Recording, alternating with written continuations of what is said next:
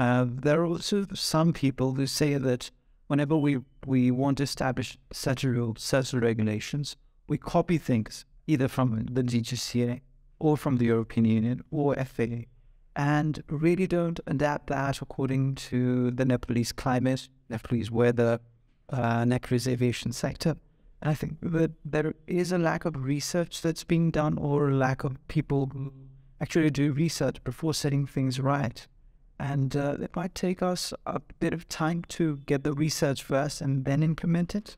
Absolutely, I agree with you. this is what happening these days. There's no research. There's no research, and they don't.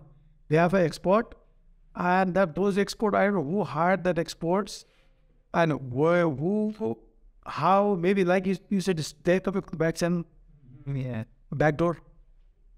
They they they call themselves uh, export but I don't know if they are ex- if they are really export, the things would have been changed by now. No, there's not no change. We, we want to see the changes. Then only we call them export. They're not export. They're not experts.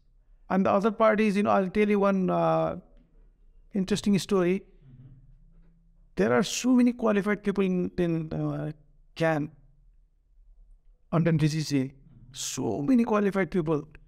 But I don't know this, uh, I, will not say all, but the DGC, they should understand uh, one thing. When they go for uh, a random check for any license, they will not get uh, proper information. They will not get proper check. The reason is there's a conflict of interest.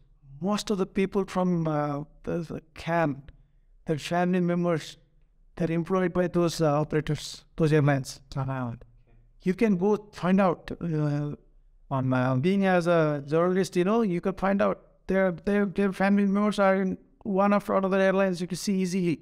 So when there's a problems, they go for the random check. If there's a serious problem, they will not find anything.